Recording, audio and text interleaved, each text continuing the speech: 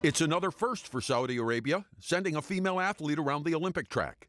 Sarah Attar's Olympic moment lasted exactly 2 minutes 44.95 seconds. That's how long it took her to complete her 800 meter heat Wednesday. She finished dead last, more than 30 seconds behind her closest competitor and 43 seconds behind the winner. Still, she drew a huge roar of support from the 80,000 or so spectators on hand. Despite temperatures in the mid 60s, she wore a white headscarf, green long sleeve shirt, and black leggings. Attar is actually an American with dual Saudi citizenship and is currently a student at Pepperdine University in California. She's just the second woman ever to compete under the Saudi flag at the Games. Jim Bell, The Associated Press. It's another first for Saudi Arabia, sending a female athlete around the Olympic track.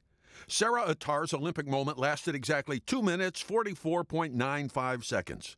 That's how long it took her to complete her 800 meter heat Wednesday. She finished dead last, more than 30 seconds behind her closest competitor and 43 seconds behind the winner.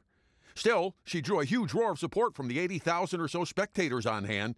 Despite temperatures in the mid 60s, she wore a white headscarf, green long sleeve shirt, and black leggings. Attar is actually an American with dual Saudi citizenship and is currently a student at Pepperdine University in California. She's just the second woman ever to compete under the Saudi flag at the Games. Jim Bell, The Associated Press.